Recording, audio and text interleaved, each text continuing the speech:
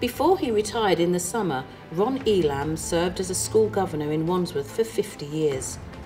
Ron started out as a governor because he wanted to contribute to the community and was told that there was a shortage of volunteers to be governors, particularly in special schools.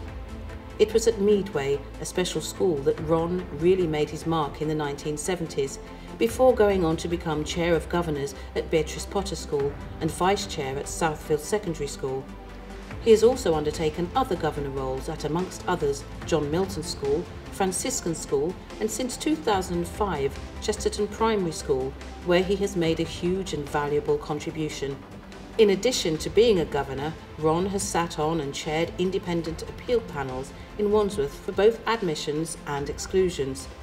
Until 2012, Ron participated in some 300 inspections for Ofsted. His contribution to the education system and schools across the borough has been simply outstanding.